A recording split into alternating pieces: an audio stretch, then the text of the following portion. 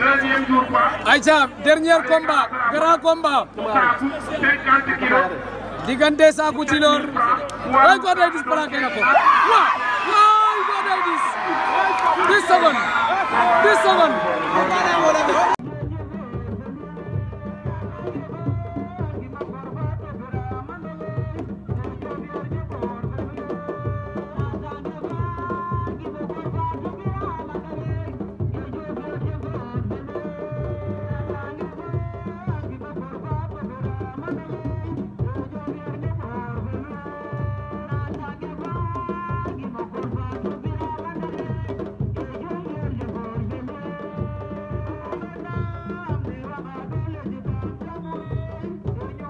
Abdou Péterol Ama Fatim na Diofior